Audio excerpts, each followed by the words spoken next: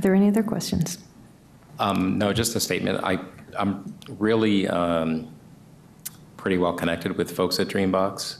Um, They're a Seattle, well, Bellevue, Washington-based company. Um, I know the CEO very well, and as well as a number of the salespeople and staff. I've been to some of their staff meetings, so when it comes to a vote, I'll probably, just so you know, I will abstain, even though I'm very much in support of their curriculum and have known them for quite a long time.